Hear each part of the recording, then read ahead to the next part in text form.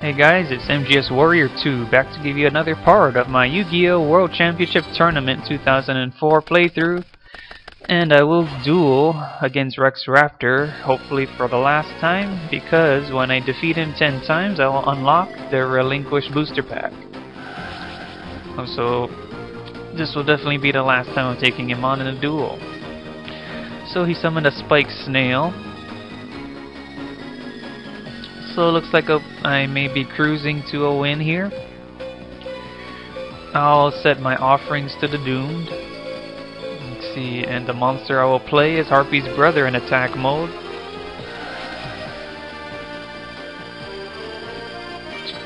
And Harpy's brother will be destroying that spike snail.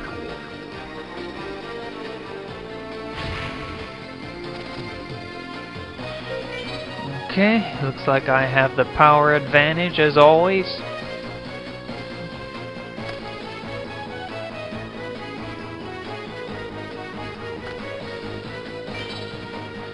Alright, same old tactics from Rex. He hasn't changed one bit. Because usually when you face duelists, um, over and over again, they usually tend to get stronger, but I don't know, Rex seems to be the same skill level. Oh, that's a shame. He's not even a challenge. So Shining Abyss is going to attack and hopefully destroy the defense, which is only the graveyard and the hand of invitation. And Harpy's brother will get a direct attack off.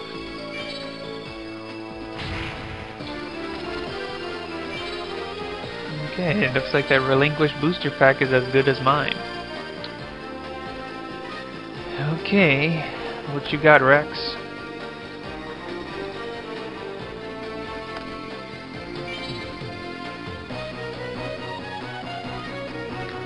So alright, let me see what I'm going to draw here. It's a giant Trunade, which is a card I'm not going to need right now, because Rex almost never plays spells and traps so I'm going to summon my Neo the Magic Swordsman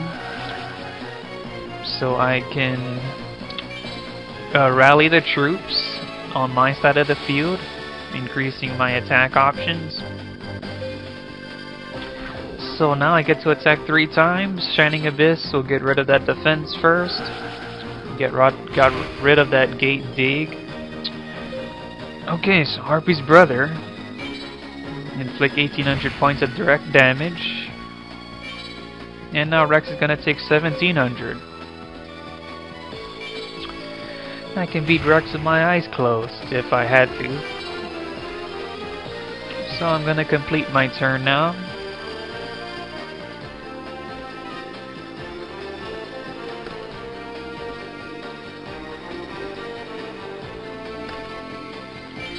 Okay, that'll be the last sacrificial lamb that I'm gonna take out and um, to take out uh, Rex Raptor once and for all. So I don't need to even summon another monster because he only has 1600 life points. So Harpy's brother, um, get rid of that li uh, little weak defense monster, which is Crawling Dragon.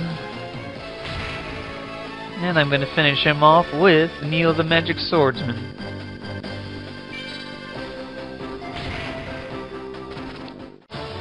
So I dueled a perfect duel.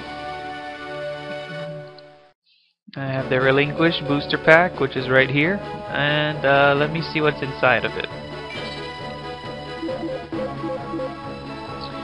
Let's see, Reliable Guardian is a quick play um, spell that increases a monster's defense by 700, um, which isn't that good in my opinion. Snatch Steal is a pretty good spell card. It's kind of like Change of Heart, but it has a side effect of your opponent gaining a thousand life points every standby phase. So Tailor of the Fickle is another quick play spell that allows you to uh, select uh, one equipped uh, equipped card and switch it to another correct target. So I might use Snatch Steal, I'm not really sure. But I don't want to edit my deck right now. Oh yeah, in case you're wondering why Joey Wheeler isn't um, appearing anymore is because I put Jinzo on my deck. So if you put Jinzo on your deck and um, Joey will vanish, but if you take it in, back into the trunk, it will reappear again. But if you defeat Joey, I think 10 times, you can still duel Joey even if you have a Jinzo in your deck. So anyways, I'm going to duel Bonz and hopefully beat him for the 10th time so that I could unlock the Thousand Eyes Restrict Booster Pack. And so this is going to be the duel that will be closing out this video. So I've drawn Jinzo. Speaking of Jinzo, I will set my Disturbance strategy and Offerings to the Doomed. And next I'll set my Needleworm, which is an excellent way to start off because I get to um, force him to discard the top 5 cards from his deck. So, by the looks of his summoning of the Bistro Butcher, he will be attacking Needleworm. And that's exactly how I wanted it to go. And Needleworm is flipped up. And there goes the top 5 cards from his deck. So too bad Bonz. Hopefully you, you lost some good cards. Okay, now it's my move. I've drawn my almighty Blue Eyes White Dragon.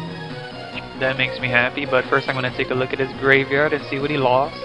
He lost Axe of Despair, La Jinn, the Bistro Butcher, and Magician of Faith. Those are good discards. So I can't do anything with Jinzo and Blue Eyes in my hand because I don't have a sacrifice. But what I could do is set my Maneater Bug so that I could destroy one face-up monster on the field, or it doesn't even have to be face-up. And uh, let's see what Bonz will do. So Bonz summons Slate Warrior, which is a, a great attacking monster with 1900 attack. So he's first going to attack with his Bistro Butcher, and that's going to destroy Maneater Bug. And now I get to use Maneater Bug's effect. So there goes Slate Warrior. It can no longer attack me directly. And my life points remain unharmed. And, and that is a good way to go. So I've drawn Solemn Judgment. I'm going to set that down on the field. Let's see, I think I'll just play Disturbance Strategy so that I can have Bonz reshuffle his hand so hopefully um, catch him off guard there with any strategies he might have been planning with those cards he previously had. So I can't summon any more monsters, was a shame. So I'm just going to end my turn here.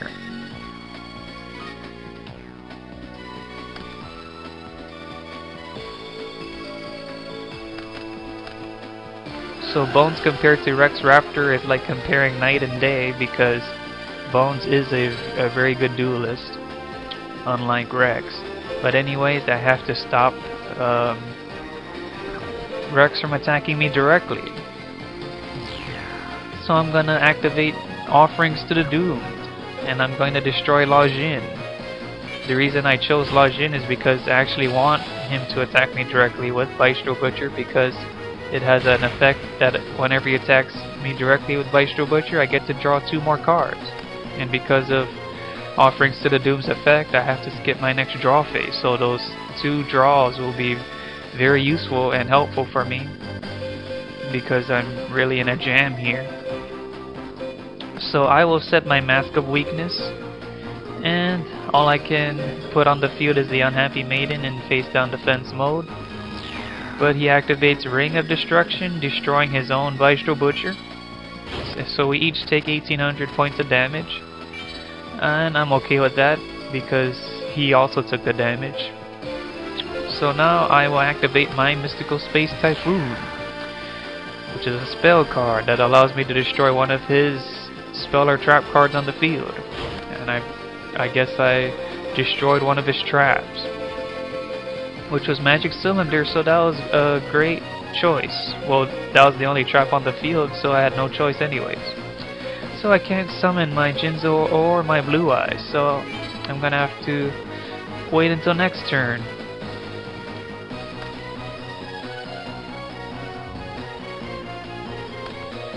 So Stone Armadillo was summoned. And that's going to attack my Unhappy Maiden.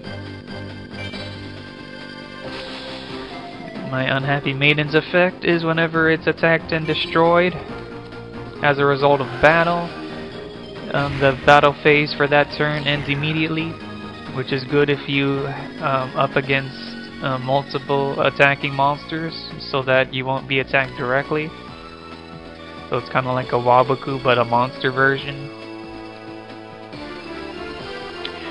So I get to summon my giant red sea snake.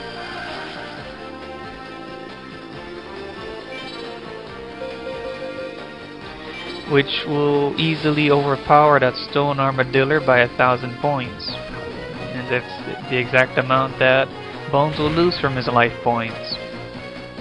So I made this into a closer duel. It's still anybody's duel. Bonz is always a challenging duelist to face. So he activates Mystical Space Typhoon. Unfortunately, he chose Mask of Weakness, which is uh, one of my best traps. So he activates a spell card Monster Reborn to try to uh, resurrect his Ill Witch. And go right ahead, I'm not going to stop you from doing that. Ill Witch is not a threat to me. But that is a threat when he activates his spell card Gravekeeper Servant. Whenever I attack, I will lose the top card of my deck. So it's like a permanent version of Needleworm. And that's not a good effect at all if you're um, playing against that card. So let's see. Should I summon my Jinzo now? No, I think I'll just wait on that. I will set Magician of Faith instead. So that I could get back a spell card whenever it's uh, flip summoned or attacked in face down defense. So I attack, I lose the top card, but there's nothing that could be done about that right now because I don't have my Mystical Space Typhoon anymore which is why I put Magician of Faith on the field, so I can get back my Mystical Space. I want to get rid of that Gravekeeper Servant, because I don't want to keep losing cards from the top of my deck.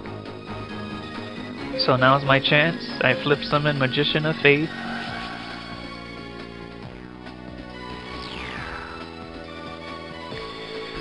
Give me my Mystical Space back.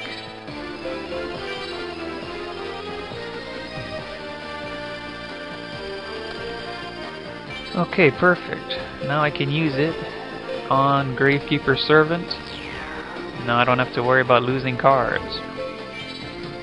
Or decking out. Okay, so now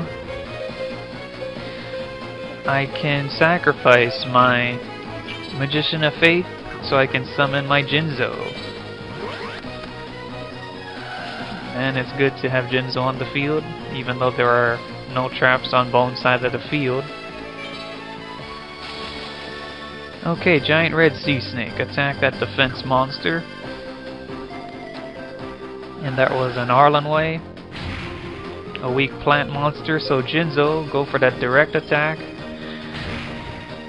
On Bonz, and now he's down to 2800 life points, so this duel is going to be over soon. Not if my emulator keeps pausing like that on me without notice. So anyways, let's see what else you have, Bonz. Can you make a comeback? So all he did was set a face down trap or spell. So if it's a trap, it doesn't work because Jinzo's on the field. So now it is over because I have United We Stand. Even if I didn't draw United We Stand, it still would have been over. Because if I attacked twice with my monsters, it would have been over. But now I just have to attack once, because I equipped my Jinzo with United We Stand. So Jinzo, Cyber Energy Shockwave, and Bonz is history. Which means I unlocked a Thousand Eyes Restrict booster pack. Let's see what I can pull from it. Minor Goblin Official. Can activate this card when your opponent's life points are 3000 or less. Inflict 500 points of direct damage to your opponent's life points during each of his or her standby phases. Sounds like a pretty good trap if your opponent is low on life points. Oh, Type 0 Magic Crusher. I remember this trap card. It was pretty good if you have a lot of spells in your deck, because for each spell card you discard, you inflict 500 points of direct damage to your opponent's life points. And Gravity Bind is also an interesting trap because all monsters of level 4 or higher can attack. So only put Gravity Bind in your deck if you don't if you're not using Jinzo or if um, you're not using uh, monsters of level 4 or higher. And Bite Shoes is a flip effect monster. You get to change the attack or defense of one face-up monster on the field. Uh, which is alright, I guess. And Girochin Kuwagata is a decent 4-star monster, an insect with 1700 attack and 1000 defense. So I may edit my deck a little. I'll think about putting in Minor Goblin Official or Type 0 Magic Crusher. But for now, that, that's it for today. Thank you all so much for watching my Yu-Gi-Oh! World Championship Tournament 2004 playthrough, comment, like, sub, and in the next part I'll keep trying to pull cards so that I can unlock some more duelists. I'll see you guys next time.